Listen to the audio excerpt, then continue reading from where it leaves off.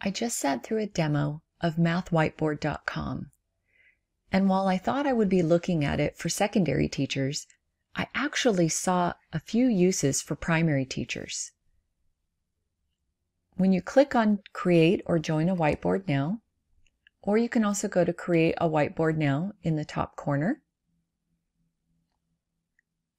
New Whiteboard, it gives you a great Getting Started screen with some suggested areas to look at.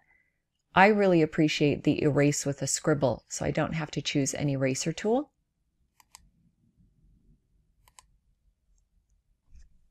So if I'm teaching elementary, one of the things we do is fractions.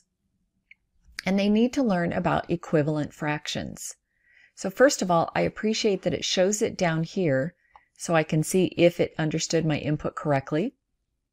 When I click on More in the top right, I'm going to choose this new tool, Highlight Equivalence. Now I'm going to write another fraction.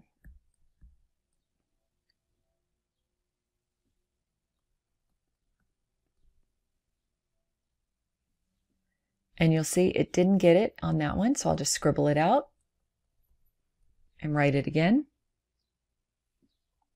You'll notice they're all the same color, but if I turn on highlight equivalent, now they're a different color, showing me which fractions are equivalent and which aren't.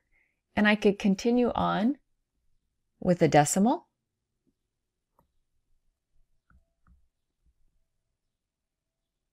And again, you'll see it's in the same color,